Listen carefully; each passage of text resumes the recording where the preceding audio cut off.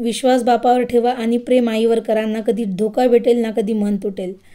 हे hi hello नमस्कार. श्री स्वामी समर्थ कसे आहात सर्वजण? होप सो छानच असाल आणि छानच राहा.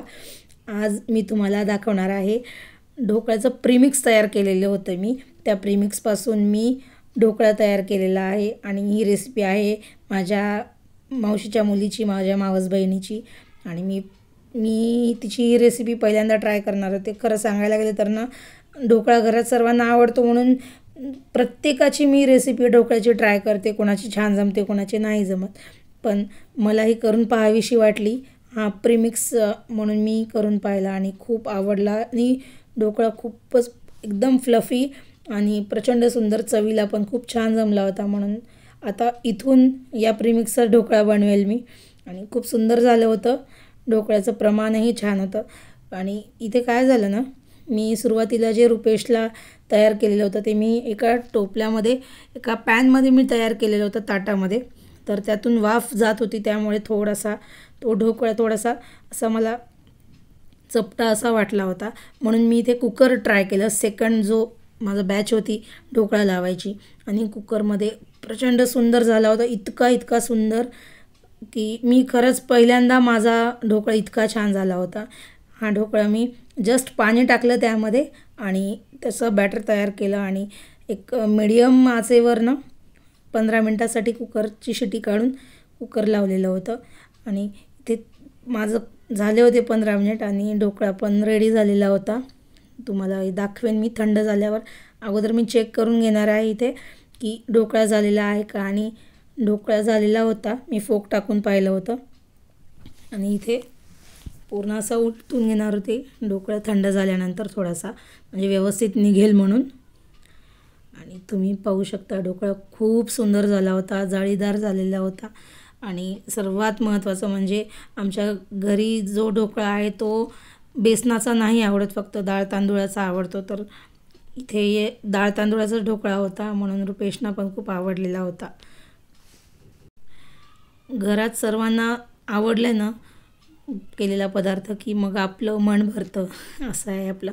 आणि इथे सर्वांना आवडलेला होता ढोकळा म्हणून मी खुश होते. आणि इथे आता ढोकळा झाल्यानंतर मला तुम्हाला दाखवायचा होता खरं तर कट करून. असं वाटत होतं की कधी कधी मी तुम्हाला कट करून दाखवू की ढोकळा पहा किती छान झालेला आहे. एक नवीन काही ट्राय केल्यानंतर त्यामध्ये जे सक्सेस भेटते ना त्याचा आनंद थोडासा वेगळाच असतो. आणि माझ्या बाबतीत असंच आहे. अगदी छोट्या छोट्या गोष्टीमध्ये सुद्धा आपण आनंद घ्यायलाच हवा. मी इथे तुम्हाला ना दाखवला मुद्दाम काढून की पहा किती जाळीदार झालेला आहे ढोकळा म्हणून. आणि एकदम असं तोंडात टाकलं की विरघळणारं पाणी असा झाला होता ढोकळा. आणि तुम्हाला जर रेसिपी पाहिजे असेल तर मला कमेंटमध्ये नक्की सांगा. आणि हे पहा किती फ्लफी झाला होता आणि खूप छान झाला होता. ढोकळ्यासोबत ना आमच्या इथे एक दह्याची चटणी बनवतात. ही चटणी जी आहे ना ती साऊथ साईडला बनवतात. दह्याची चटणी असते ती. आणि थोडीशी गोड असते. त्याला मी येथे दही घेतलेलं होतं आणि थोडंसं फेटून घेतलं होतं. थोडं पातळ करावं लागतं. अगदी ताकासारखं पातळ पण नाही आणि दह्यासारखं घट्ट पण नाही अशी त्याची कन्सिस्टन्सी असते. आणि त्यामध्ये मी साखर घातलेली होती. साखर घालून साखर विरघळल्यानंतर ना मी पॅनमध्ये तेल ठेवलेलं होतं. फोडणी घालणार होती मी. तेल मोहरी जिरं आणि त्यानंतर त्यात काळा मसाला आपला घरी तयार केलेला किंवा मग गरम मसाला आणि थोडंसं तिखट आणि हळद घालायची होती आणि आपली चटणी तयार होते आणि चटणी खूप सुंदर लागते ही. अगदी चवीला छान आणि ढोकळ्यासोबत तर परफेक्ट असते. आणि इथे मी रुपेशना देत होते हे नाश्त्याला. कैसे लगा बताओ. ढोकळा काय आवडतो तुम्हाला एवढा? कसा झालाय? एकदम छान. प्रीमिक्सचा वाटतोय? आपल्या तांदळासारखंच वाटतोय. हा तसंच झालंय ना? मग डाळ तांदूळाचाच आहे ना आपला डाळ तांदूळाचाच असतो ना दरवेळेस. आवडला तर. धुतलं धुतलं.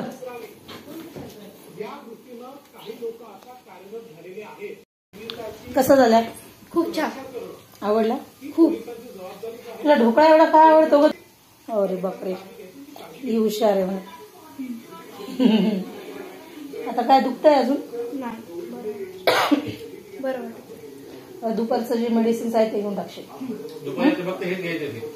काय? पण एवढं हेवी काही उचलायचंच नाही की आपल्याला त्रास होईल ना? दोन्ही बॅग एकदा उचलल्या असत्या त्या.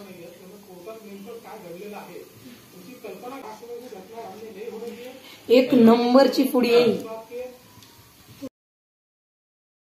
सर्वांचा नाश्ता झालेला होता. सर्वांचा म्हणजे आईंचा झाला होता. ओजस आणि मी राहिलेले होते. ॲज युज्युअल ओजस सगळ्यात उशिरा बसतो त्याच्या खेळण्यात लक्ष असतं म्हणून रुपेशचा चहा झाला आणि नाश्ते झाल्यानंतर मला इथे आवरायचं होतं. दुपारचं नाश्त्याचं असं काही वेगळं केलं ना की मग तो पसारा पडतो राडा होतो आणि मग तो आवरून मग बाकीच्या कामाला लागावं लागतं. माझं इथं सगळं आवरून घ्यायचं होतं. मी गॅस नव्हते इथे साफ करणार. इथं फक्त स्लॅब माझा खराब झाला होता म्हणून मी स्लॅब ते क्लीन करून घेतलेला होता.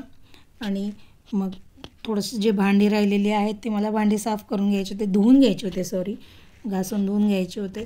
कारण दुपारच्या नाश्त्याची भांडी पुन्हा मग अजून ती उद्या लागतात सकाळी. जे कुकर वगैरे आहे ते. त्यामुळे ते धुवून घेतलेलंच मला व्यवस्थित वाटतं. जेव्हाची तेव्हा कामं झाली म्हणजे ना आपल्याला पुढच्या कामाला आपण एकदम फ्री होतो. आणि जो ढोकळा मी बनवलेला होता ना तो एका पॉ पॉटमध्ये काढून मला तो बाजूला ठेवून द्यायचा होता. कारण ओजस राहिलेला होता खाण्याचा. भांडे घासून झाल्यानंतर ना मला इथे ब्लाऊजची कटिंग करायची होती ॲक्च्युली रुपेशना मी जो ढोकळा दिला होता ना तो मी ताटामध्ये लावलेला होता. ताटामध्ये बॅटर कमी असल्यामुळे ना तो थोडासा असा हाईटमध्ये लेंथमध्ये जो ना तो थोडासा कमी वाटत होता. पण त्यांचा ही ढोकळा छान झाला आणि जो कुकरमध्ये लावला होता तो तर नंबर एकच झालेला होता. अगदी बघायचं कामच नव्हता. बॅटर पण त्यामध्ये परफेक्ट पडलेलं होतं. म्हणून तो छानही झाला होता. दिसतही छान होता लागतही छान होता. सगळं छान झालेलं होतं. आणि घरामध्ये जेव्हा सर्वांना व आपण केलेला पदार्थ आवडतो ना तर आपल्याला जे काम लागतं जे कष्ट लागतं त्याचा एक आनंद तो वेगळा असतो. आणि त्या त्यांच्या आवडीपुढे ना आपल्याला लागलेलं कामही आपण एकदम इग्नोर करतो. माझं किचन आवरून झालेलं आहे. आणि आता मला ना ब्लाऊजची कटिंग करायची आहे.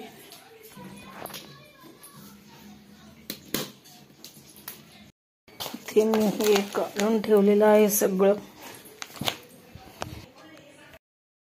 माझं ना कोविडच्या आधी माझी ॲक्च्युली मी सर्व तुम्हा सर्वांना सांगते फ्रेंड्स माझं पार्लरचा कोर्स झालेला आहे मी मेकअप आर्टिस्ट आहे आणि माझं फॅशन डिझायनिंग पण झालेलं आहे. आणि कोविडच्या आधी माझं काम अगदी छान चालू होतं पण जसंच कोविड आलं दोन वर्षामध्ये हे काम माझं पूर्ण थांबलं आणि कुठे ना कुठे मी डायवर्ट झाले आणि एक नको असं वाटायला लागलं पुन्हा. कारण मी ते दोन वर्षात दोन अडीच वर्षाच्या गॅपनंतर मी पुन्हा त्यामध्ये आले होते म्हणून एक माझाच कंटाळा म्हणा किंवा मग मी थोडंसं त्या गोष्टीकडे इग्नोर करायला लागले होते. पण एका दिवशी काय झालं ना की माझा एका ब्लाऊजला रिपेअर करायचं होतं आणि माझ्या एका मैत्रिणीकडे मी गेले आणि तिच्या मशीनवरती बसल्यानंतर मला एक वेगळीच फिलिंग आली. एक माझ्या मशीनला मी मिस केलं आणि त्या दिवशी मी ठरवलं की आता बस आता मी माझ्या मशीनला चालू करणार आणि मी माझे कपडे ॲटलिस्ट माझे कपडे तरी मी नक्कीच स्टिच करणार म्हणून. आणि हे जे ब्लाऊज होतं ना ते ब्लाऊज मी रिसेंटलीच एक स्टिच केलेलं होतं आणि ते बॅक ओपन ब्लाऊज होतं म्हणून मला आता जे अजून एक ब्लाऊज जे स्टिच करायचं होतं ना ते पण ब्लॅक बॅक ओपनच करायचं होतं. त्यामुळे मी त्याच मापावरती पुन्हा इथे माप घ्यायला सुरू केला होता आणि इथे ना मी पेपर कटिंग करते अगोदर कारण मला कुठलीही रिस्क नको असते. आपण पेपरवर माप टाकल्यानंतर जर काही चुकलं तर आपण तो पेपर अगदी टाकून देऊ शकतो. पण जर आपण डायरेक्टली कपड्यावर जर माप टाकला ना तर तो कपडा खराब व्हायची शक्यता असते. म्हणून मी तशी डेअरिंग नाही करत खरं तर. मी करू शकते पण मला ती डेअरिंग नाही करायची. कारण काय आहे ना पेपरवरचं काम थोडंसं मला परफेक्ट वाटतं. परफेक्शन असतं त्यामध्ये. म्हणून आपण हे त्याला क्रॉस चेक करू स शकतो रिचेक करू शकतो. म्हणून मी पेपर कटिंग करते आधी. आणि मग लाईनिंग जी आहे ती कट करते. आणि मग मुख्य जो कापड आहे तो करते. इथे माझं ना ब ब्लाऊजचं फर्स्ट पार्ट म्हणजे बॅक आणि फ्रंट दोन्ही पार्ट ना माझे पेपरने कट करून झालेले होते. आणि त्याला मी माझ्या त्या लायनिंगवरती मार्किंग करून घेणार होते व्यवस्थित अशी. म्हणजे मला कटिंग करायला सोपं जाईल म्हणून. प्रत्येकाची स्टिचिंगची एक पद्धत वेगळी असते. कटिंगची स्टिचिंगची माझी ही थोडीशी वेगळी आहे. मी ना फक्त लाईनिंग जे आहे अस्तर ते मी परफेक्ट असं कट करून घेते. आणि वरचा जो मुख्य कापड आहे ब्लाऊजचा तो मी लमसम कट करते. ते मी डायरेक्टली स्टिच करतानाच तो मी व्यवस्थित असा कट करून घेत असते. आणि इथे जे आहे ना मी स्लीव्ज मी वेळेवर कट करणार होते. वेळेवर कट करण्याचं कारण असं ना की मी ऑर्गेन्झाचं मटेरियल आणला होता स्लीव्जसाठी स्पेशली आणि तो कसा आहे ना कटिंग करताना तो व्यवस्थित नाही बसला. पुन्हा किंवा मग कट केल्यानंतर तो जर हल्ला गेला ना तो एका जागी नाही तो व्यवस्थित बसत. जसं कॉटनचे कपडे एकावर एक व्यवस्थित बसतात तसं तो नाही बसत. म्हणून ते नंतर स्टिच करताना ते अवघड जाईल कठीण जाईल. म्हणून मग मी वेळेवरतीच माझे स्लीव्ज इथे कट करून घेणार होते. स्टिचिंग माझ्यासाठी एक असा प्रकार आहे ना की मी त्यातून बऱ्यापैकी मी जेव्हा स्टिचिंग करायचे ना मला त्याच्यातून ब बऱ्यापैकी मला फायदा झालेला आहे माझं बेनिफिट झालेला आहे. आणि आता एकदमच आतूनच सोडल्यामुळे कोविडच्या पिरियडपासून माझं ते राहून गेलं ते राहून गेलं. पण रुपेश असं म्हणत होते की तू विसरली का काय? पण मी त्यांना जेव्हा स्टिच करून दाखवलं तेव्हा ते म्हटलं अरे मला आता वाटलं होतं तू विसरली की काय. पण नाही असं नाही होतं. आपल्याला ज्या गोष्टी आवडतात त्या आपण नाही विसरू शकत. अगदी मीच नाही तर अगदी कुठल्याही व्यक्तीला जर त्यांच्या आवडीचा जो छंद असेल त्या बाबतीत किंवा मग त्यांच्या कामाच्या बाबतीत जर आपण अगदी अर्ध्या रात्री जरी विचारलं ना तर ते सांगत असतात. अगदी तसंच आहे माझ्या इथं स्टिचिंगचं सुद्धा. आणि माझं लायनिंगसुद्धा इथे कटिंग करून झालेली होती. आणि इथं मी जस्ट जे आहे ना एक लमसम अमाऊंटमध्ये मी इथे मेन जो मटेरियल आहे ब्लाऊजचा तो कटिंग करणार होते. कारण मला वेळेवरती ते हे करायचं होतं आणि माझी ब्लाऊज स्टिच करायची पद्धत अशी आहे म्हणून मी त्या पद्धतीने मी इथे कटिंग करून घेत होते. आणि खूप असं मी लायनिंग नव्हतं आणलेलं. जेवढं मला लागेल तेवढंच मी इथे आणून घेतलेलं होतं. माझं जेव्हा ब्लाऊज कंप्लीट होईल ना फ्रेंड्स तेव्हा मी तुम्हाला नक्की दाखवेन आणि वेअर करून दाखवेन साडीवरती. आणि तुम्ही पण मला नक्की सांगा की कसं वाटतं तुम्हाला ते. आणि हे होतं ते पिंक कलरचं माझं ऑर्गॅन्झाचं स्लीवचं मटेरियल जे मी वेळेवरती कट करून घेणार होते. आणि आता मला तुम्हाला दाखवायचं आहे माझ्यासाठी ना आलेलं आहे पार्सल सो ते पार्सल कुठून आलेलं आहे आणि कुणी पाठवलेलं आहे ते तुम्हाला दाखवायचं आहे. चला तर मग. माझी ना इथे ब्लाऊजची कटिंग पण झालेली आहे. स्लीव्ज ज्या आहेत ना ब्लाऊजच्या ते मी वेळेवर कट करून घेणार आहे. आणि मला आता इथं माझ्या माहेरून पार्सल आलेलं आहे.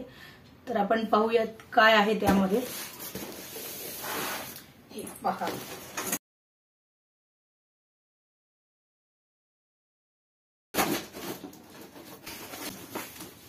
ड्रायफ्रुट्स थंडीचे लाडूचं सगळं सामान पाठवलेलं आहे. मम्मी पप्पांनी पा हे आहे. पिस्ता. ऍक्च्युली ना रुपेश खूप जास्त फुडी आहे त्यांना ड्रायफ्रूट खूप जास्त आवडतात. त्यासाठी हे जावयाचे लाड आहेत माझे नाहीत. आणि बदाम डिंक ऑब्विसली डिंकाचे लाडू आहेत डिंक असणारच झालं हे काय आहे? आय थिंक ते ना पीठ आहे भगरीचं यस हे भगरीचं पीठ आहे. आईने दिलेलं. आणि आहेत अंजीर खारीक. पूर्ण पिंकाच्या लाडूचं जे आपल्याला हिवाळ्यात आपण करतो हेल्दी पौष्टिक असे लाडू. त्याचं सामान आहे हे. त्यांनी पाठवलेलं आहे. हे पहा. तो हे आहे खोबरं. आणि खारीक. अंजीर किलोने पाठवलेलं आहे सगळं पप्पांनी. एवढं नाही. आणि हे जे आहे ते पीठ आय थिंक हे भगरीचं आहे.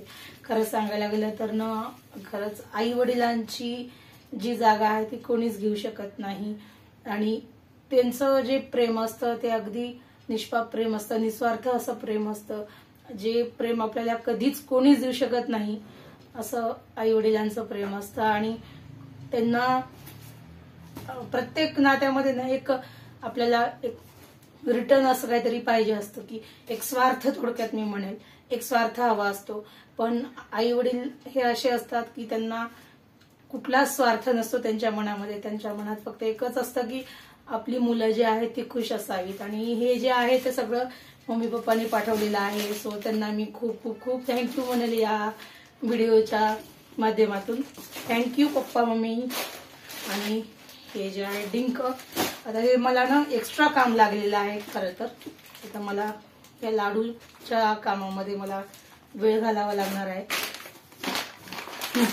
सो फ्रेंड्स तुम्हाला जर माझा हातचा ब्लॉग आवडला असेल तर please please please like share आणि सबस्क्राईब करायला विसरू नका. धन्यवाद.